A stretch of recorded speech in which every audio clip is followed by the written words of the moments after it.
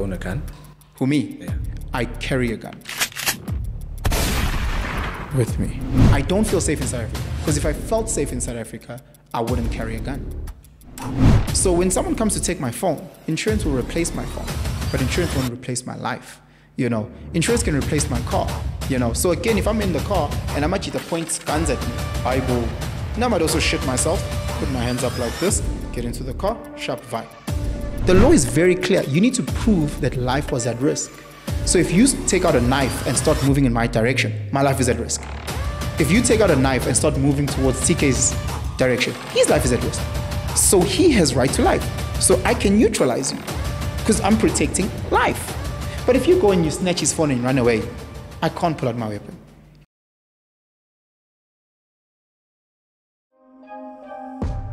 I know as, as these young teachers, we need to be very cognizant about how we deploy them. Because they some of them are young, dog. It's like your second year in varsity as a teacher. You go and teach matrics. That means that when they were in grade 10, some of these girls when they were in grade 10, you were in matric. Yeah. That's not that bad, is it? I'm A matric in a grade 10? It's not bad. 16 and 18, that's not bad at all. not bad, Not bad at all. So now you fast forward, now she's 18 and you 20. Ah, now we must be very aware. Yeah, but the craziest thing I've seen is seeing somebody who's doing grade nine and being picked up by an older guy. That used to happen all the time in my school. That used to happen all the time. All the time. What makes these guys to be attracted to these young girls? Well, some of these young girls try to look older. Because girls don't go, they go through puberty a little bit before us. So some of them, physically, they look very different, dog. Most of them still look like little kids, let's be honest, most of them. But some of them look, mm. and then they're young and they're impressionable. And if you are a 20 year old, 25 year old loser who can't get 20 year olds, you're going to go and pick on the weakest link. Don't you think? Imagine being a loser of a hyena in the veld. You're going to look for the most sickly, smallest buck to 100%. catch. Yeah. And I think what's these are what these guys are doing. Because I mean, I, I, I, so you know, like with gents, before we record, there's gents. I mean, I always tell them, recording, dude. are we recording? Yeah. Okay, well, at least I didn't say anything about anybody's mama. so with, Yeah. with some of these gents, I always say, Wuti, there should be a rule. And the rule is half your age plus seven.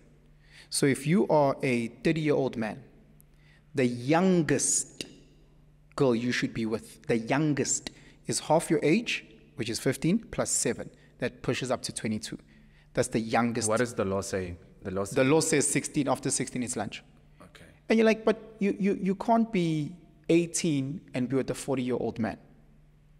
If the law took this rule that I'm saying, if you're 40, half your age, 20 plus 7, that's 27. So if you're 40 with the 27 minimum entry level, that should, we shouldn't fight. You can't be uMsholozi. uMsholozi at age 70, he made like a 24 year old baby pregnant. Dog, that's wrong. Half your age, 35, plus 7, 42. uMsholozi at age 70, you can be with a 42 year old. I think we, we can look away. It's nje. It's just sometimes 18 is not 18. You know, if I'm 21 with an 18 year old, that's 18. Hmm. But if I'm 31 with an 18 year old, nah, fam. It doesn't make sense. Nah, nah. But have you seen today's 18 year olds? Nah, nah. It doesn't matter because it, it, it, they, they might be physically ready, Yeah. but mentally they're not. You shouldn't be able to date a person that you weren't in school with. I don't know if that makes sense. It makes sense. Now, what are you doing, bro? Like when, when, when you were in, in, in, in third year, she was in grade three. Ah, fam. Ah, yeah, yeah, yeah, yeah, yeah, yeah, yeah. You're supposed to be it, bro. Are you coming here with your old mentality? Because at the end of the day, in, in wooing woman, you know, isithi inhlanzishelwa am- amanzi. A lot of it is lies and manipulation, vele in the dance.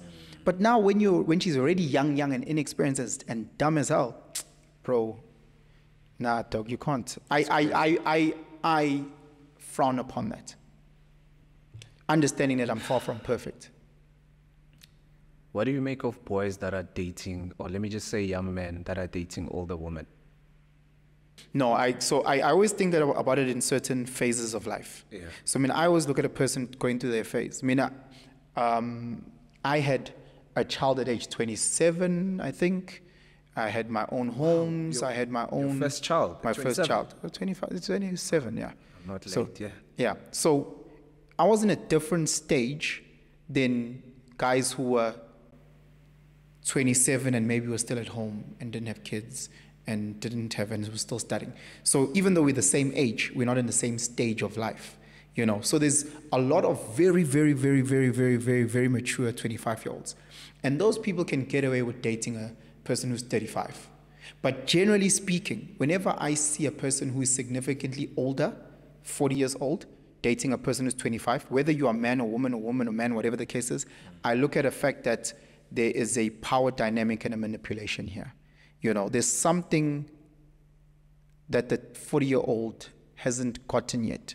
You know, they're stuck in a certain stage of life that they want to be able to manipulate and take advantage of 25 year olds.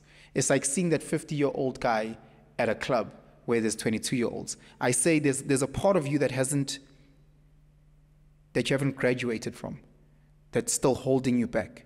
Once you've gone past that, you, you wouldn't find joy in being with little 21 year old girls. Or if you're a 50 year old or 40 year old lady, you wouldn't find joy in being with a 21 year old. Generally speaking, I do understand that there are unicorns and anomalies, but generally speaking, you're in different stages. What do we talk about? What do we talk about? The music you used to listen to, ooh, ooh, ooh, Whitney Houston, you used to listen to oh, K-Ci and JoJo, and you're talking to a kid who's only knows young, young Lil Yachty. Y- Dog, the- yeah. yeah, all he knows Yanos. So the, the gap becomes too big. Then the question is, what are you guys talking about besides sex? That means the only commonalities is sex and partying. What else? Because we can't have any intellectual com- uh, conversations because you're not there. We can't have conversations about days gone past because you're not there. We can't talk about real plans, real future. I'm in a different stage in my life where I'm talking about, okay, this is my year plan, my three year plan, my five year plan. If you're 22, dog, and you just think about partying and you're thinking about buying, bar- so what is it that we're talking about besides partying and sex? You know, so what is it about me that is attracting a person that only has those two things in common with me? So I need to first work on me. So when I look at an older man or an older woman, I realize, Guti, there's so many things about them. Forget the little child. Because the little child is clear that you are a hungry hyena trying to find the weakest link. Because you're not going to find a strong fucking buffalo, let me tell you that. These, some of these grannies that are taking advantage of these young kids, they, they know they can't get anyone within their range. Some of these, they think they can because it's the human arrogance, right? I'm 35. I think I can get a 32 year old. Gandhi, if I'm not mature enough, if I'm not in the right stage of my life, I won't attract, I won't attract quality 32 year olds. I won't. They don't have time for my bullshit. But I can attract some of these young, innocent, uh, uh, what's he coming in for now? Naive Yeah. 21 year olds because I can just throw money at the situation. But a sister who's 32 has her own working, stable. I can't just throw a bottle of Veuve and think she'll jump. She won't jump. 21 year old might jump. I can't just throw the fact that in driver E4 pipe and she might jump. She might not jump. She's like, hey, I've also got the same car. Oh, that's cute. You know, she might have a better car. You know, so again, I always look at those age dynamics and I just say, what is it about you to date a person where there's a significant gap? And if you're going to tell me what there's more than just sex and alcohol or sex and partying, uh, I disagree. Because you look at those relationships and they be together for three months, six months, and then you ask the older party after they've gone through it, and you're like, what did you gain? And then you realize this is nothing. Then it was just partying and sex. Because there's nothing really tangible. Oh, this person grew me in this area, in this area, and I became a better person in this space and that space. All you can tell me is that now you know how to suck a dick, or now that you know how to go down, or that, that's all you know is new sexual things and new alcohol and different partying spots. They introduced you to the world of TikTok because you dated a 21 year old. So you now know the new TikTok trends that these girls are doing. That's maybe where you've learned. Outside of that, there's nothing. I don't believe. Jeez, man. What's your view on having opposite sex friends? Can't believe you just started recording. Yeah, we're done, bro. We're like on 20 minutes. Let's go, bro. 20 minutes. Let's go, dude. I'm just here. You know, we're just having a decent conversation. I actually have so many questions that I want to ask you, but I'm respecting the lady at the back. I don't have chicken. No, you must, you must, you must ask. I, I think the, the beautiful part is that I'm in a stage of my life now Yeah. where whatever I say in front of you, Mm. hand on Bible, I can say if my mom was sitting in front of us because she's heard it. You, you know the conversations that my brother and I have. Yeah. We don't just have those conversations when it's just me and him. We have those conversations when our partners are there, our kids are there. We have the same, in the exact same language. We don't tweak the language. So if I'm going to say fuck in front of you, I say fuck I'm hoes in front of my mom. Not because I'm trying to disrespect my mom. It's because I want to be as authentically Penson in every space I'm in. I don't want to misrepresent any part or disrespect any other person by not being me. Am I perfect? No. Am I going to intentionally disrespect anyone? No. But I'm also not going to hold back who I am. Pamwaband. So if I say, no man, fuck those people, I don't like them. Mm. When they hear, I'm like, ah, no machita, fuck those guys. And they're going to do nothing. Because velang in phone and nyazang in phone. I'd say it. Because I don't want to be fake in front of you, bro. Shabalala dog, why? If I don't like you, let's say I don't like you on a personal level, mm. I would never be here. I like you off air, mm. on a personal level. That, that's only reason why I'm here. I would net, the person could have a million subscribers, 10 million subscribers. If I didn't like them, I would never do that. I'd never sit and have a conversation with them. I'd never have coffee with them. I'd never have a beer with them because I want to be authentic. I want to say authentic things. And if they put me on their platform, I'm going to tell them on the platform, "Uthi awunongithwala amasimba wena." right? Don't you think that should be the human nature where we're authentic? So, just as a segue going into your male and female friends Yeah. and the, some of the challenging questions that we, we might discuss, because I feel men and women shouldn't be friends, because it speaks to exactly what I just spoke about. People won't be authentic, people will lie. It's almost like when you have a, a, a hyena and a buck being friends. It can't happen. It, it can't happen. And I've heard so many sisters say, no, man, I'm, a, I'm, I'm friends with TK, I'm friends with TK. I was like, ah, me and TK would never say. I was like, no, only speak for yourself. You can't speak for him. You don't know how he feels. How do you know his brain? How? We wired from a biological point. How, how do you know his brain? You might not like him. Let me tell you a story. Um, shout out Penny.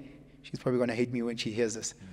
Um, my sister was dating this, this guy that I really liked, you know. Um, and I said to my sister, now that you're dating and you want, uh, you can't have any male friends, right? So I'm, I'm speaking on this chance behalf. I was like, no, you can't have any male friends. For what? You know, no, but I've got just one male friend. We're really cool. We've been friends for a while. Even before I met my, my, my partner, I've been, I was like, no, you, uh, I don't, tr- I don't, I've never met him, but I don't trust him. You know, why is he not, whatever discussions that you are having with him, why is he not having that with his male friends or with his girlfriend? Oh, he's single. I was like, where? Ufuna when? She so she disagreed. She disagreed. I was like, okay, sis, please can you just do me one favor? One day when you guys are chilling, just you, you and him, and you're watching whatever, drinking a glass of wine, I want you to turn around, look at him, and then just start leaning towards for a kiss. Just lean. Don't. My sister goes. She says, "I know, Toby. If I did that, he'd just push me away." I was like, "Sure." A month goes by. Ah, my sister calls me. It's like half past 12 at night. She goes, Ah, man, Toby. Ah, she starts shouting. I'm like, what is this? What's happening? What's happening? She's like, I've just lost a friend because of you. I was like, What do you mean? I was like, ah, I, I did that silly thing that you said I must do. And then, ah, he jumped on top of me. I was like, Exactly. So he jumped on. He was waiting for that opportunity. he was waiting patiently for that opportunity. I would do the same. I mean, Dog, if you met with a pretty friend, you know, because I'm saying, I'm not saying every guy is attracted to every female. I'm not saying every female is attracted to every guy. I'm saying, you never know who's attracted to who and who's waiting for an opportunity. Because you, you, to many females, are incredibly attractive, and they will sit patiently and be friends with you and listen to you moan about your girlfriend and listen to you moan about your, your parents and listen to you moaning about a thousand things until the opportunity comes where you are vulnerable or you say something leading and Asha. I know people now who have been in, in long term committed relationships, but they started off as just friends. Just friends. Mm. Now we're six years together, 10 years together. Now we're married, we've got kids. You and just friends. Can you already see the fruits of being just friends? Can you see where it are? It, it can't be authentic. It cannot be authentic. You can't have a mouse and a cat be friends. It, to me, at least. I've seen, I grew up in a different time. I never saw my mom with her male friends. You know, True. ma- Yeah. huh?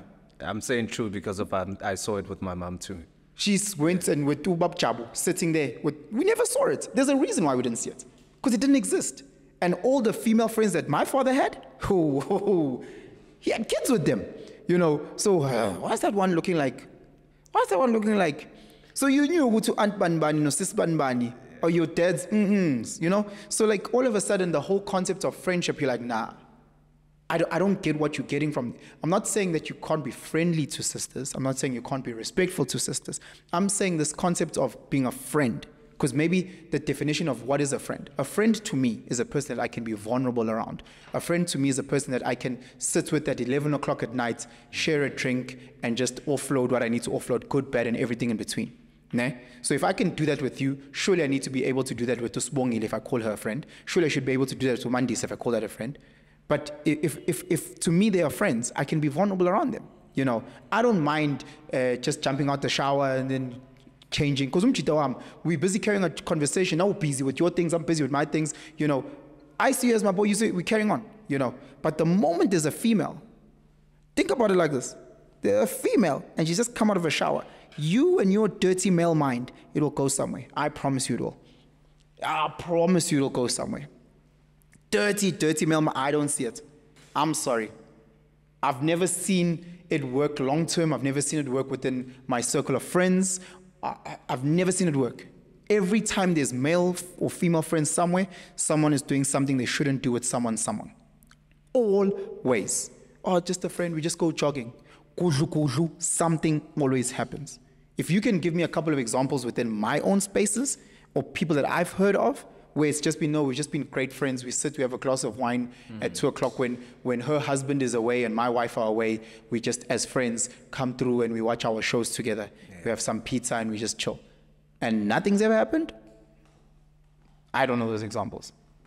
I don't know if they exist. It's crazy, eh? People are naughty, bro. It's crazy, eh? People are horny, dog. What are the dangers of friends with benefits? In 2024, 2024, yeah. I don't believe in that as well. I think it's disgusting, dog. I think. So I've got a problem with today's hyper-sexualized yeah. community, guys. I've had my fair share of Have you, mistakes. have, you, have you ever been involved in a. yeah, yeah, yeah, yeah. No, so Sorry, I hope. Uh, ask all your questions. so I, all, all I'm trying to say is that I'm not. I don't want to talk as if I'm talking from a point of being perfect. I think for a lot of things that I have experienced, they are what has led me to not like certain things. So if I was doing uh, drugs or whatever the case may be, now I can say, guys, rather not, because I've learned the hard way. Not everybody needs to learn by putting their hand in the fire. You know, so to those that have put their hand in the fire and have got burnt, they, their job is to educate us. I do not believe in having a high sex number or high sex. I don't believe in having sex just for the mere sex. Um, the reason why I say this, and this goes for men and women alike, so I don't want any sisters thinking, Uti, where does my body count? It matters both sides. I don't think there's a single female out there that is like, oh my God, I love Justin because he's slept with a hundred women. I don't think that's exciting for women as well, as much as we don't find it exciting. You know, I think there's something in being rare any rare anything, generally speaking, is very precious, you know, and there's a value to that. So if you have only been with, let's say, eight sisters and you dated them and it's women that you've respected and you've treated them like queens, I think there's power in that. That one. The same way that if a sister says, I've only been with three guys that I was dating and this was the situation, I think there's power in that as well.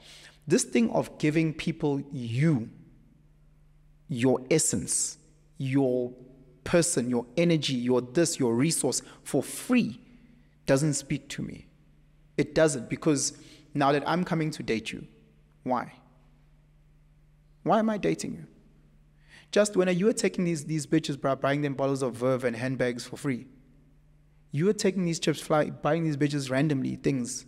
You were going and fixing their washing machines and, you know, fixing, filling them. Why? So now I must come through as your girlfriend and I must cook for you and I must clean for you and I must help you through, navigate through your own psychological damages. Why must I do that when you're doing it, when, when you were giving bitches things for free? Imagine, let's swap the roles. There's a lady that you like. There's a lady that you like. And she was giving booty out for free to random guys, fuck mm-hmm. buddies or whatever the case may be. Now you need to come in there. What is it? Because now when you come in, you invest your time, your energy, your resource. What is it that she'll be pouring into your cup that is worth that exchange? She's been doing it for free. I could use my phone. If, if you were to find out that, hey, they're selling this phone for 5,000 Rand, you want to come buy it, right? But just, just before you buy it, just before you come buy it, you find out Uguti, the iStore was actually giving them out for free. Right? Mm. Just before you got there, they were giving out for free. Now, as you get there, they stop and they say, no, half of 5,000. How do you feel? I wouldn't be happy. You're gonna be happy? No, I'm. no, you're gonna feel like a boost, yeah. bruh. Because you're like, everybody got this shit for free. Everybody's getting this chick for free. So now you pay. Why must I pay? There's, there's, there's, girls, dog. I'm telling you now, there's girls that I can hit up now. Mm. I'm like, hey, I'm hungry. She'll say, now come, come through, I'll cook for you. She'll cook for me. She'll wash my clothes. She'll iron. She'll give me booty. She'll give me for free. And once I'm saying, I'm like, and then I'm out. Why must the next guy, in exchange for all of those things, resource, time, energy, why?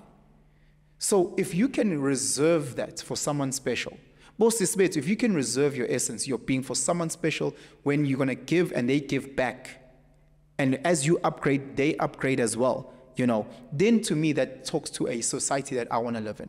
You know, so how I look at it from a traditional point, when they'd say, uh, the man and the woman were both virgins when they got married and then they lived together. You know, obviously it's different times. Not everyone's going to be virgins, not everyone's going to be childless, whatever the case may be. However, let's try and get it to close as possible.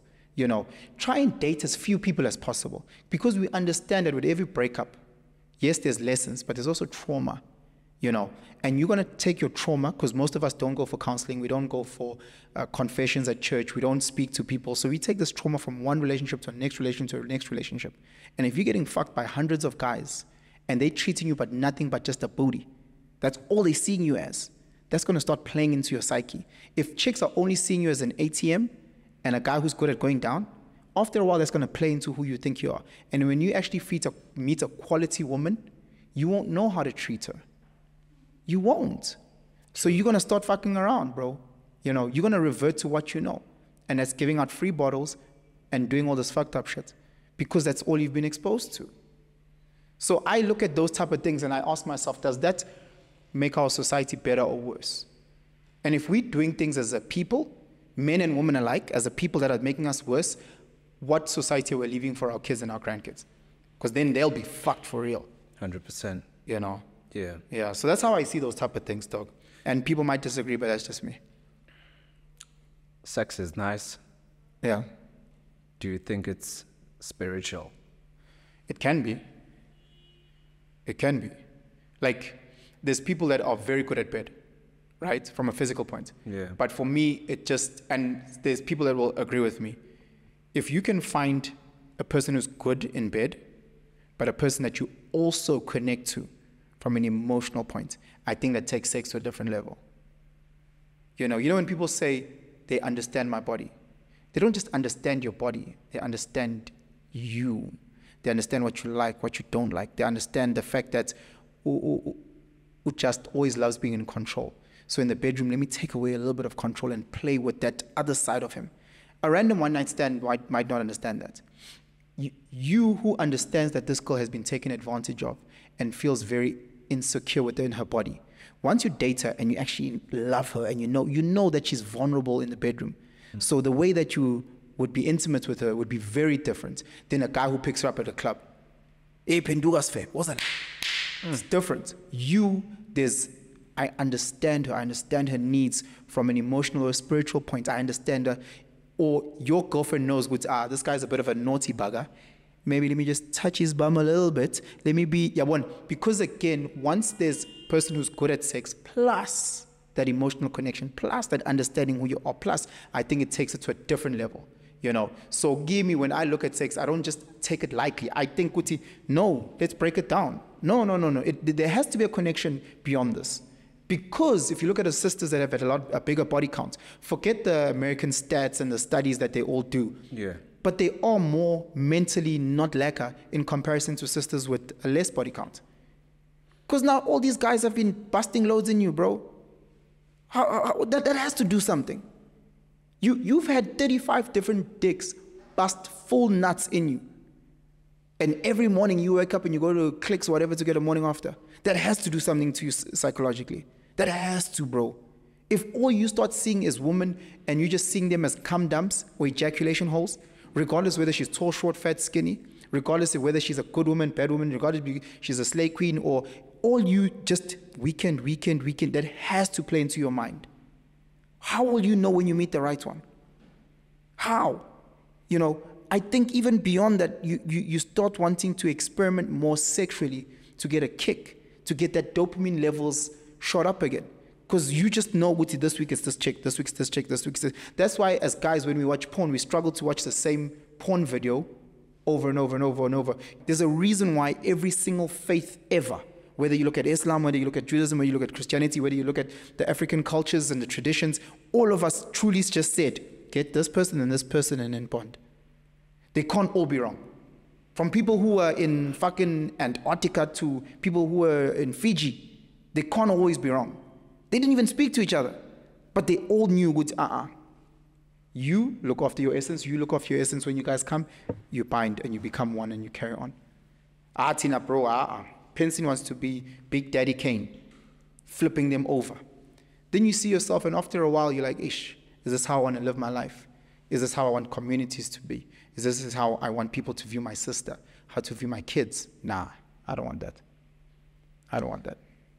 Wow, man, it's it's a very interesting conversation. Honestly, Mm. um, it's it's very interesting. I don't want to lie to you. You know, it's very interesting. Siyabonga ngombhebhiso. Yeah, you know, I, I, Kwakushelinye time. I'm not going to shut him out. Uh, we stayed in the same street. Um, and when he was in college, Yeah. there used to be this one lady that used to just um, give it out, you know. And like at the end, when they finished the, the year and they were leaving on, they like used to scream into her room, you know, like just, hey, hey, wena sibongile. and she stuck her head out and like six guys were like, ah, siyabonga ngompepe. So, you know, like, like imagine, bro, like she, she's literally the, the, the, the, the bicycle here, you know, and guys are just using it as a come dump, you know. So as much as those guys are disgusting and wrong, she's also disgusting and has very, very little value. And now she's going to come and say, you must go lobola her. When? Hambi ukhipha inkomo zakini. but guys do that though. Nah, yeah, yeah, not guys. They don't care. No, not guys don't do that. guys don't do It's these little tadpoles that do that. Guys don't do that. Much that don't do that. There's no guy that I know when I talk about a man mm. who's gonna go and pay thirty thousand rand for a second-hand Mobicel. They did that with Faith Nketsi. That's then again, that's what I'm saying. It's tadpole stock. Don't let money fool you. Don't let a guy because he might have muscles or a tattoo on his face fool you. There's no man that is going to go pay 30,000 rand for a second-hand Mobicel. It doesn't make sense. So unless something is not right from a cognitive point, or there's something people that are not telling us that we are not privy to, uh, privy to, you are not going to go to a pep and buy a skipper as a pep for 50,000. You will not. You will not go into a second-hand store and see a T-shirt that has holes and been torn, has been worn by a hundred men, and then you're going to go buy it for full price. That doesn't make sense. You're going to go right now to any uh, uh, uh, lic- drive, driving license school and find Lama I-10 that they've been using, and it's sitting with 550,000 kilometers, and it's been in been scratches and it's been into car accidents and it's gone, and then you must pay full price, like it was brand new. So you know what they do? They respray it. Yeah, They reverse the mileage. or they lie about the mileage. They said no, no, no. Uh, let's not talk about that. The they spray the engine here and there. So- uh, put it back on the market, and somebody who's gonna come out of maybe somewhere in Nigeria, and then they're gonna buy it. So if, if, if, if you don't know, you don't know. You, if you don't know, So, you know. so, so if you don't know, you don't know. yeah, So, Mina, I do this thing, and people have said it's very toxic. So, I believe with you on first date, you put out all your red flags. hundred percent. All your red flags. I say, listen, this is me. I've got this. I've got this problem. I've got these challenges. I've got this. I've got this. uh, Yeah, one. Is it worth us having a follow up conversation? Because I don't want to bullshit you. I want you to know, much like when I go buy a, a car, this is the mileage, this is the year, this is the model, this is the this, this is the, this is the is done, da, da, da, da. Be upfront with that and then say, here's the cost. This person might not be your buyer, but the next person might, you know. So, okay, sharp. If you've got four kids from four different guys, yeah, one. Does it mean that there's no guy that's that's willing to be with you? That's not what it means. It just means that it's a smaller pool of men and a different type of men. So the moment you lead with that, you, you're cutting out all these bullshit uh, wannabe buyers. You know, you're cutting out all these people that are saying, "Oh no, I'm serious, Gandhi. He's just here to smash and grab." Yeah, one. So game is very, very important. The reason why excuse me, these relationships are becoming like a matenda where it's just a two months, three months thing, and then you're on to the next one, on to the next one, is because after three months I start seeing the real red flags that you're bullshitting me about. You know? So again, yes, you might bullshit me and um, hide the speedometer for this car, yaga, yaga, yaga driving school. You might spray this, you might clean this. But we, we, we, we're not 22 anymore. You know, Yeah. if you're experienced and you've been an experienced driver, you know, as you get into this car, after a, a month, you go, uh uh this, this, this is not a new car. And even when you sit inside, you're like, uh uh When you try and click that, you're like, uh uh this is not a new car. You bought it, it's yours. You know, it's mine, ne? but again, that's why the divorce rate is so high. Because now you're looking at, oh, breakup rate is so high. Because after three months, I take it back to the shop and I say, fuck that. So, oh, Faith Nketsi, now they divorced now. You know, oh, Minnie Dlamini, now they divorced now. Is it, uh, am I lying? Is this, this a secret knowledge? Is this unknown? So that's why you look at them. They get into these short term relationships. Amazing, amazing. Then what? Then what? Then the guy actually sees you for what you are, or the girl sees you for what you are. Because not as guys, we bullshit and lie. Once they catch you out, then they say, no, sharp, I can't be with this. Right? Might as well just be open and honest and say, I'm an I-10, I've got of 500,000, uh, uh, uh, uh, here's the right monetary value for this year. Don't try and be something you're not. And then uzofika usisi ekutshela ukuthi yabona bhuti wami mina ngikuthanda. Yes, it might not be your first, second, or third, or fifth choice, but the one that you do get, your eighth choice, is going to be genuine love and care. Take that person. Do you think families should analyze a, their child? Do you think they should get to a point whereby if somebody comes and say, "Look, I hmm. want to marry your kid," do you think they We they should? spoke about this, right? Yeah. Yeah. Do you think they should just maybe say that, "Look, we don't want to lie to you. You can just come with your family, and then we can just have an agreement I've got an without even you paying I've, I've, anything." I've got an older brother and a younger sister. okay. Every partner they've ever been with, if they are honest, every partner they've ever been, hmm. I've always looked at the partner in the eyes and go, good luck. Because I know that my siblings are difficult people. My brother is so difficult. I know he is. I know my sister's so, di- my, me, I'm difficult. Hmm. So I wouldn't go to, if someone wanted to lobola my sister and go, she's a trillion, gazillion dollars. She's a, she's she's a billion dollars to us as a family because we love her unconditionally. But I know that she's, she's got a strong mind. She's not going to do the traditional Makoti things. She's going to push back. She's going to be this. She's going to be that. She's going to be a 2024 lady. You know, she's not perfect. She's not, yeah, when she's rough around the edges. She's also going through a journey. I'm not going to come and make it seem as if I'm about to give off uh, Mary, Mother Mary. Why would I want to do that? You know, because again, at the same time, should it not work, I don't want you tomorrow coming back and blaming us and say, you guys said that your sister is, she's going to wash my feet. You guys said that your sister is going to make us breakfast, lunch, and supper. I told you from get-go that she ain't doing that. And in my mind, if Ilobola, a fair price for Ilobola is 100,000 just for a 21-year-old virgin, ne? 21-year-old virgin with a degree, let's just say, is 100,000. Then I start looking at other people. I'm like, okay, is she 21? No, she's 35. Down to 60,000 or whatever the case is. She's got two kids. down to 30,000. Hmm. She's, you know, yes, she's still smart, she's still amazing, she's still going to, but she can't be like any, like myself. I've got three beautiful kids. So I understand, Wuti, whatever lady comes into my life, she'll need to have, uh, for lack of a better word, the burden of just being an overnight stepmom. You know, that's not easy, bro. So I need to be forthcoming to those sisters and say, guys, no, Lalilan, you know, I'm not that 100,000 Rand worth guy anymore. I'm that I 10 that's also got the mileage. You know, I will tell a sister, would hey, sissy, when we go out for drinks, there might be three or, girl, three or four girls that might give you the side eye because maybe I've been there, whatever, and they might be mad. There might be girls that will start stalking you on social media and might send you receipts in the DMs because they might be eh, angry at whatever that I did or I hurt them in a certain way. You know, so again, that's not positives of being with me. Those are negatives that I need to be forthcoming, mm. and those are things that I don't see people, the average sister with a level head, seeing that as things that add value to me. You know, so again, I really think family plays a crucial role in stop bullshitting and being honest. But another the problem is that we also bullshit to our families, you know. So if guys are doing line of coke in the bathroom, they're not going to go to their parents and say that. If our sisters have have had 50 dicks in them, they're not going to tell their parents that they've had 50 dicks, you know. So they're going to give this illusion because they only go back home once a year for Christmas. They're going to give this illusion of being the perfect girl, you know. They give this illusion of being well kept, well groomed, well what, and then they, they, they sell that bullshit story to their families when you come in and you lobola, knowing full well that nine of your boys have been with her, knowing full well that she's had seven abortions, knowing full well that she's got credit card debt, this debt, that loan, that loan, that, that you will now have to assist in. And then the family goes and says, I Ayufundile lo. Ayufundile, 100,000. Yeah. Fuck out of here. Dumbass family.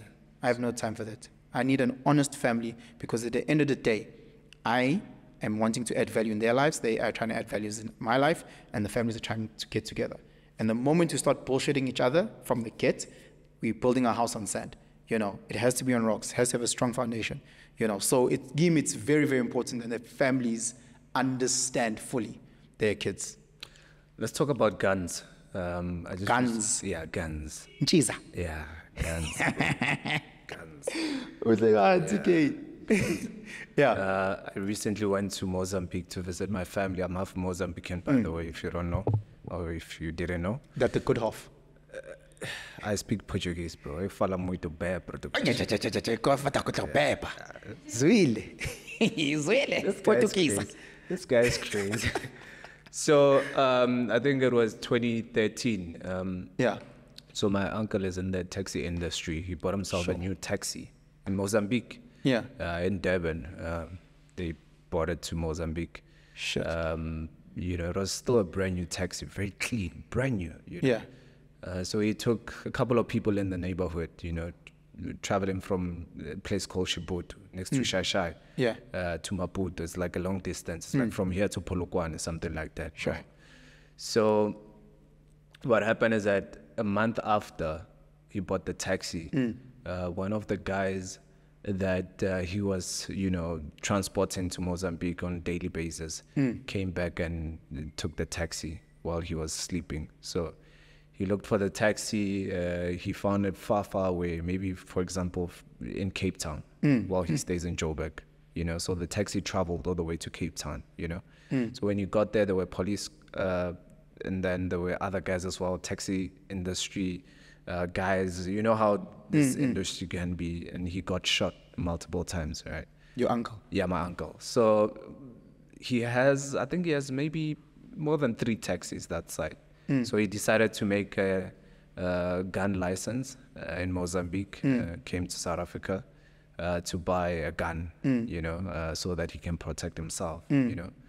I couldn't understand why, uh, because uh, Um, sorry about your uncle. I think um, Yeah. that's that's he's still alive, by the way. yeah, but yeah. yo, it's I think uh, the taxi industry is is a, is a different world. Yeah. You know, the taxi industry is a different world, and um, uh, yeah, it's it's a, it's a different conversation, a whole different interview. You know, because we could speak about that industry for two hours. Uh, I've got family who's in the taxi industry that have passed away as well. So, yeah, it's it's not a yeah. Anyway, so let's go back to the gun. So, do I think it's important for men to have guns? I, I, I wish and I prayed we actually didn't live in the society that we lived in. I wish and I prayed that there were uh, uh, no criminals, there were no evil and disgusting humans.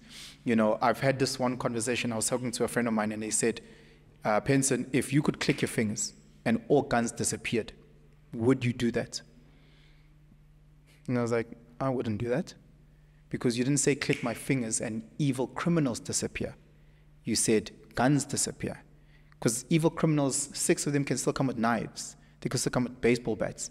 You know, they could six guys come with their fists. You know, so evil is evil is evil, and it will show itself in different ways. What a gun assists in doing is to try and equal the playing fields. You know, it is where a sister that is weighing 55 kgs and there's four guys trying to rape her. All of a sudden, she is carrying 12 bullets in her weapon. So now everybody gets three. You know, so type of situation. So now this sister who's 55 year old got the chance to protect herself. You know, um, it is for that granny you know, who is looking after four of her grandkids. And there's guys that that break through the window to, you know, unfortunately take one of the kids or, you know, harm them, whatever the case is. The gun is then that equalizer for that 70 year old granny to ensure that she can protect her four grandkids, you know. So in that case, I'm talking about criminals who aren't even carrying guns themselves, you know. But now that allows for the good people or the victims in this story to kind of balance the, the, the, the playing field. And that's how I see having a gun. Mm. Um, Gimme, I'm, I'm an avid um, gun guy, fundi, whatever you want to call him. I, I, I try and promote legal guns as much as possible. Um, actually, haven't been training for a while, to be fully honest with you. Um, but there was a time in my life where I was just immersed in training, training, training. Um, and I still believe in training. You know, you go there to the range like anything. You know, if you if you're a, an artist, you know, you need to practice as much as possible. Not necessarily so that you can go out there and cause harm. You know, but in order to manage yourself as well, to manage uh, the people around you, uh, I, I hate it when you go into a space and you see Abantu feel taller than what they are because they are carrying a weapon or whatever the case may be. You know, um, I've had many encounters, many encounters where you see people for what they are, jerks, losers, and then the moment they see or know that you're carrying a gun, then they are respectful, which is opposite of what life should be. It should be a matter of respecting every single person. Guys, we live in Joburg, we live in South Africa, where, the, where we are at, it's, it's a criminal state. It's a mafia state. You know, we live in a space where our sisters are scared to even walk to the closest engine garage to buy a loaf of bread at any time of the day. You know, we live in a, st- a space where GBV levels are disgustingly high, rape is disgustingly high. And again, I'm not saying that everybody should have a gun. I'm saying that people should educate themselves, train themselves, and then go through the legal process to get themselves a weapon. If we stayed in a society where we had efficient cops, we had efficient systems, the law was run the way it should be, then I'd be saying to people, no, don't, don't get a gun, just learn how to defend yourself physically, whatever the case may be. But unfortunately, we live in South Africa. Unfortunately, we're not, we're not just, there's people who wish harm on you without even knowing who you are.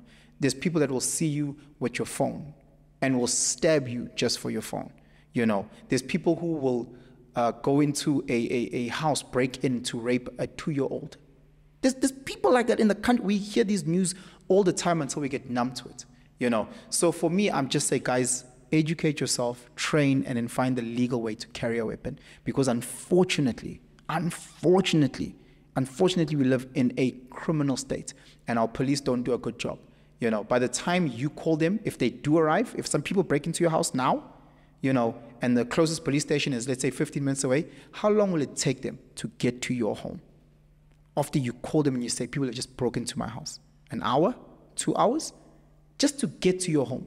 By that time, your mother, your daughter, your wife has been raped. By that time, you've been stabbed. By that time, they've broken and taken everything in your home. And they've left. And they, they, we haven't found AKA's killer on camera. We haven't found Senzo's killer in a room full of people. Who, who are you? So I know Uguti with myself and with my family, I'm doing the best that I can to protect them. How? I move into a neighborhood where the crime rates are the lowest. I move into a space where it's a complex with uh, electric fence and security guard. I make sure Guti I have a big ugly dog, and then I make sure Guti I've got a couple of friends in my home that can shoot through the door. You know, so when you come through, all nine of you, I, I have seconds for everyone. You know, so again, I believe in looking after a family. If we lived in a country that was Finland, we wouldn't even need walls. You know, we, if you live in Korea where they leave the key in the car, you know, type of situation, then I wouldn't be pro weapons the way that I am. You know, it would be a different discussion. Jeez, man. Do you own a gun? Who, me? Yeah. I carry a gun with me. The same way that you carry your fists. So that when some people try you, you can give them a left and a right. Same way as I carry my phone. Same way that you carry your phone. Do you feel safe Me, in South Africa? I don't feel safe in South Africa. Because if I felt safe in South Africa, I wouldn't carry a gun. So we train, we fight all the time, you know, so we train. You train with your wife? Yeah, so we train. We train. My, So- even with my kids, we train. So you We- know how to we train. So you know how to use a gun. Your wife Yeah. knows how to use a gun. No, but and this here Oh, and that as well. So again, you might not have your weapon at that time. It might be in the safe, or whatever the case may be. You always want to be able to try and protect yourself and get out of harm's way as quickly as possible. You know. So again, with my kids, unfortunately, in today's schools, not saying that my kids' school is like this, but in many schools, there's a lot of bullying. We see it all the time. Older kids, younger kids, the, the, we're hearing all the times about teachers that are doing inappropriate things with school kids. You know, so I'm teaching my kids to be able to defend themselves. Because someone like, why don't they just tell the principal? Well, if they're getting fingered in the toilet by a teacher, when are they going to go tell the principal? You know, after they get fingered. So I'm going to make sure with my kids, again, if they're ever in a space where that is happening with, with an, uh, an uncle, with a cousin, with a watwati, with a stranger, they can defend themselves physically. And then once they get to an age, you know, because I go with them to the gun range, put these things, they see me shooting. Once they get to an age, then train them you know, how to use a weapon. I do hijack training, I use uh, home defense training. I'm not saying with I'm going to be perfect, because even the best goalkeepers let goals go through. I'm just saying with I'll be way better than a person who's not trained. I'll be way better than those uh, TV gangsters that are shooting on the side like that. No, no, no, no, no. You know, I'm more trained than them. The same thing with fighting. I'm not saying with I can go and beat up any stranger. Da. I'm just saying compared to the person who's not trained, I can tell her to get into the ring with you and she'll clean your pipes. You know, again, it's just as a preventative, not for you to go out there and be the bully, but just when the bully is trying to come into your space, you are able to defend yourself and your loved ones. Especially for our sisters, especially in this country where our sisters are victimized every single day. Imagine, imagine if a jerk, a fucking dick of a guy, is like, I'm about to rape her and then finds out that she is a black belt jiu-jitsu, she does Muay Thai, and she carries a Glock 19. That guy is going to come out second best. He's going to learn that day, whether he's talking to his maker after she's done with him, or he's found himself broken in 10 different places. To make sure that you don't just go to people and think you can take advantage of them, especially our sisters. So I say to our sisters, learn how to fight, self defense, controlled. Learn about weapons. Study them, practice, and get yourself a firearm. You know, until such time where the law, the system can clean up their fucking act and protect us as much as we pay the tax to order to get protected. Until such time where we can do that. Until such time the demons leave so many people, you need to be able to protect yourself and unapologetically so. If three gunmen approach you, Mm. you have a gun, they have similar guns as you Mm, are, what do you do? What are they approaching me for? Like to mug me? Something like that. No, man, I've got insurance for that. I'm not a Robocop. I'm not a Robocop. If there's a home invasion and there's guys with guns, the training is not necessarily just to be good at shooting. The, the training is to train your ego. You know, the, it's the training your ego. The reason why we fight all the time in the ring and, and we lose and we win and we is to train the ego. You know, so when someone comes to take my phone, insurance will replace my phone, but insurance won't replace my life. You know, insurance can replace my car. You know, so again, if I'm in the car and Amachita points guns at me, I will. Now I might also shit myself, put my mm. hands up like this, Get into the car, Shopify. Let them go, call insurance, insurance, they took my car. wouldn't shoot them back. For what? First and foremost, the law, the, the, I'm in, so the law of the land says I'm, I'm allowed to defend human life, including my life, mm. right? So if my life is at risk and I can prove that my life is at risk, then I have all rights to defend it. But if you come and you slap me, or let's say you come and you just give me a right hook, poof, and you drop me to the ground, and then you leave, you leave, is my life still at risk? No. It's not. So I can't put in my weapon. So if you take my car and you drive off, my life is not at risk. If someone comes into my home, takes my TV, and then starts running out, my life is not at risk. So I have no, uh, I've got no leg to stand on if I shoot this person. I'm in trouble. You know, the law is very clear. You need to prove that life was at risk. So if you take out a knife and start moving in my direction, my life is at risk. If you take out a knife and start moving towards TK's direction, his life is at risk. So he has right to life. So I can neutralize you because I'm protecting life. But if you go and you snatch his phone and run away, I can't pull out my weapon. I can just say ishari. So are you saying that if you are in a supermarket and guys come in with guns, They're shooting what? Up in the sky. Shooting Yeah. One, again, I'm not a hero. Ne? There's, I'm not a hero. and you're literally there in the store, I'm so shitting myself as much as everybody's shitting themselves. I'm not a hero. and you're I'm not a, a, a, a, a police officer. for real. One, I'm not a hero. I'm not a police officer. I'm not there in anyone's service to, no one's paying me for something. So the first thing is that these guys are here to mug the store. Everything in the store is insured. Sit down, as what they're saying, let them take the stuff and go. If one of those guys go and grab a two year old, that is a different situation now. As any man, there's a morality in what you need to do your next steps now. If you are walking with, whether you have a gun or no gun, and you're seeing five guys kicking the shit out of Ukoko, you can see Ukoko, petema plastic, and there's five guys kicking the shit. There's a morality as a man that you now need to stand on. Do you watch Ukoko get beat up? Or do you go and try and do something? Those to me are two different things. But if there's five guys and the one guy goes and snatches Gogo's purse and runs away, are you going to be a hero? I don't know. I don't think so.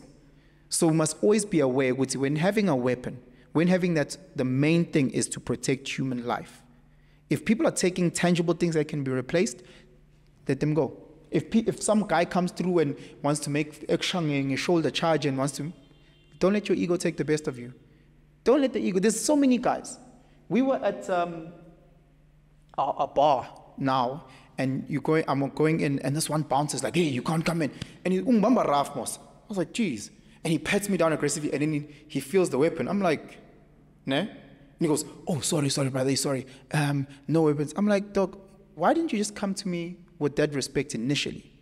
Why must there be a weapon in the place and a what what for you to talk to a human being the way all human beings should address each other? You know, now your ego is taking a knock, and I'm just putting both my hands up just to show you, Guti, I'm no threat. I'm here for a drink and here to leave. That is what a weapon should be. A weapon should not be anything to do with your ego. It should be any. It's, it's not a, a dick size competition. And if if you are that person, you shouldn't have one. If psychologically you are not ready, because at the same time you can use this to kill yourself, to kill your loved ones, to kill uh, innocent. If you are not ready, like anything, please don't have these things. I know so many guys that go to gym have a bit of a bicep and then sebefuna ukusihlupha. Ya mina ngizokushaya phela. Ngizokushaya. No, dog, no. Kanti wena uyojimela ukuhlupha abantu. You need to work on your mind, bro. You're, you're not ready. I thought ukuthi njengoba ujima, you're trying to do it for health reasons. I thought njengoba ujima, you're trying to make sure that you, you, you, you are able to better protect yourself and your loved ones. I thought those are the things that you were training for. Maybe to get a young, beautiful girl every now and again, sure. But you gymming kodwa uzohlupha abantu. Nah, dog, you need to work on your brain, dog. So, uh, if you're not ready for a gun, guys, please don't get one. If you're not training right now, please don't get one. We, we, we, we don't need more crazies with weapon. We've got enough that are out there. We've got enough amaphoyisa basimisayo basihlupa basithreatenisha that are meant to protect us but are doing the opposite. We've got enough of those crazies. You do a lot of boxing. Um, Yeah. Is it the same thing with boxing, whereby uh, some, when you're doing boxing, uh, it's not like you're gonna go everywhere and beat up people. Dog, I, I haven't beat up nobody, you know, because again, you, you, you, we, we all, and I think this is just to get into a, a more sensitive, softer part of this conversation. Yeah. We all are dealing with so many insecurities. Ne? So I started training at a young age. So my mother was in a very abusive relationship with my father, you know, and my father used to beat up my mom physically, you know. So he used to beat up not just physically, but emotionally, psychologically, the whole shebang. Mm-hmm. And I remember me at age like 10, as a child, 11, and I used to say, nam one day I'll be Nzochima, you know, so that if he ever did that, I could prevent that. You know, I know there's many boys, many, many boys that go through the same journey. So once I started training, it was literally that that was the demon in my mind. You know, Guti, no, I want to make sure Guti, no one takes advantage of the people that I love. That it, it had, I never ever trained to like to get to a point where I could be like, yeah, so that when I uh, uh, girls can see me topless. That only came in my mid twenties. Only then when I started wearing a vest and going to the beach and then, mm, but the, the, the fundamental of me getting into training was me to work on those insecurities, you know, feeling like super powerless when your mother's crying. And you're like, nah, this shit can't keep happening, you know. And this is you at age 10. Say, "Kamere, Now we are Kalush. I push up trying to be a, a stronger version of yourself, you know. And then as you get older, things change, obviously, you know. Um, he then stopped when I got to a certain age. But anyway, and then I just fell in love with the training, you know. I fell in love with the training. I saw that um, I was doing a lot of weights. My body was getting bulky. And with boxing, the difference between training at Chimin with weights and boxing, boxing is a very, very humbling sport. Um, Boxing doesn't care how you look like. You can have a scar on your face. You can have muscles on muscles. You, you, you, you can have tattoos. You, you can, I wonder when you step into the ring, you, you can't see who's who. You know, chubby little white boy, get into the ring with him, you'll see something. You'll see something. Oh. And then after that, he's going to buy you a cappuccino and smile with you, you know. And it will teach you humility. It will teach you respect. It will teach you what you treat every single person you meet, you know, whether it's a street sweeper, it's a CEO, you treat them exactly the same. You know. And that's why I love boxing, and that's why I fell in love with boxing. That thing of keep your hands in your pockets. Don't try to be a hero. Because I'm going to la ngaphandle. Ashaya, ne? ayiyiyiyi bakuthela ngenduku. Umuntu ongam-expect boy. Umuntu oskral so uthi uyasukuma kanjeni uthi uthi uthi uthi uthi. Eh, Eja kushaya ngogebhethe put in a lock.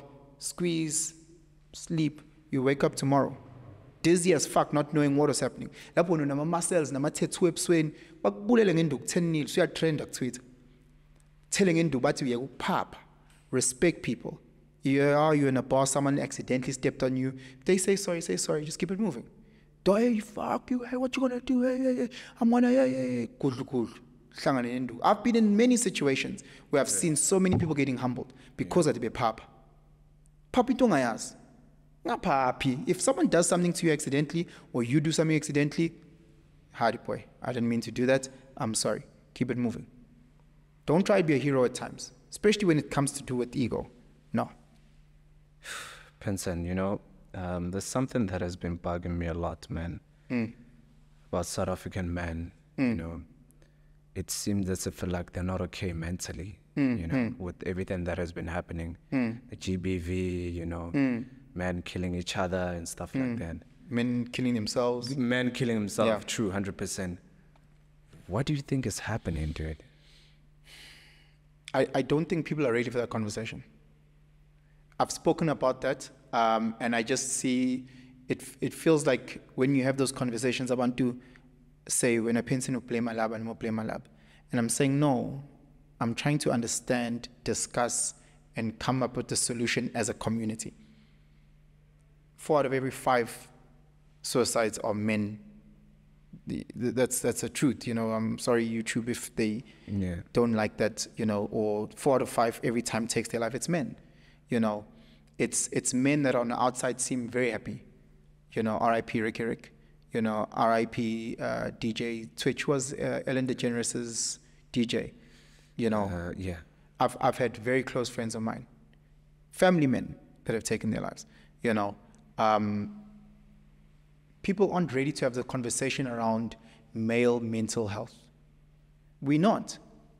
It's the same when you have a, a conversation where, let's say, there's a sister who was sexually harassed, né? and then we say something like, well, what was she wearing? Oh, I don't have that conversation. No, but we, we should have that conversation because I know that if a chicken goes past hyenas, a hyena will try and bite. So if a sister is dressed very sexually uh, revealing and is in a very unbecoming space, there's a higher chance of her getting sexually harassed than if she's just dressed more modestly or at home, you know. I'm not saying people don't get victimized in every space. That does happen. I'm saying with you, there's higher chances and high probabilities in different spaces based on how you carry yourself, you know. So if you go to a club or a bar or whatever and people are drunk and you dressed and people can see your coochie and your titties, chances are higher there of you getting sexually harassed than if you were at church, as an example. You know, not saying that people don't get arrested, church, I'm just making two comparisons. But I don't think people are ready for those conversations. They don't. People like being a victim, or people like blaming men, or people like blaming women, whatever the case may be. Men are dying. Men are killing women. Men are raping women. Men are beating up women. We have to find out why. No, that's not what the conversation. You know, people, oh, it's, it's because uh, there's deadbeat men who never raise their kids or who. Why? Don't, don't be lazy. Don't be lazy. Don't be lazy in thinking. If you're going to say, Uguti Justice is a deadbeat dad, I've never ever met a man when I'm having a conversation around their, their legacy and their name and their careers and their dreams and aspirations. I've never met a single man who's never who's said, yeah, I'm and I'm just going to leave the child. Every man has an aspiration for his surname and his legacy to live on through seed.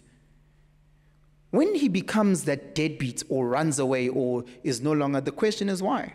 The question is why is it that our generation was raised by single mothers? Are we ready for the conversation? Is it that just all our fathers were deadbeat? Is it just because all our fathers were messed up? Is it just because that all our mothers just chose to not want to be around a man? Maybe did they push them away? What are the options? Why is it that in today's time men are in the space that they're at? Why is it that in today's time you've got uh, what, what, what's, the, what's the stat? 30% of millennials, ma- males, are not having sex and they're finding themselves hiding in their little rooms, uh, either on social media or playing PlayStation every day. Why is it that so many men are running away from job opportunities Why, or, or, or not having job opportunities? Why is it that when I go back to Newcastle, I see more unemployed young men than I see black females? Are we not having these conversations? Are we ready for them? Men in today's time are fucked, whether it is an Andrew Tate talking about the Matrix, whether it's people talking about the red pill this, whether it's uh, conspiracy theories, whatever the case is, but something is not lacquer within the mindset of the man. And we're not having these conversations. All we're saying is that a man needs to be strong and a man needs to provide. I hear sisters talking about equality and feminism all the time, right? They all equal, they all feminist until the bull arrives. Where's the fucking equality there? Everybody is a fucking feminist and all about equality until you walk into a room, sister, and all the men are sitting down. And now men need to stand up and give you a chair. Or until we have a buffet, or there's a line, or there's criminals at the door. Until something where you now need a strong man, it was equality. It was equality when it came to equal pay at work, right? But when you guys are going for a movie, who must pay? And when you have the majority of unemployment being unemployed black men and no one's having these questions? Is it just because having a penis makes you lazy? Is it just because black men don't want to work? Is it just because, what's the reason? What's the reason? We grew up in a space where we were bombarded with media that was highly feminizing us. We used to grow up with my mom watching Eat Days Nippled. For a young black boy, what is that doing? what, what, what's, what's, what's, what's it teaching the young black boy? If you're growing up and you're watching something like My Wife and Kids, where you hear the lady J busy shouting at Mike all the time, the lady is the one who doesn't work. She's a stay at home mom.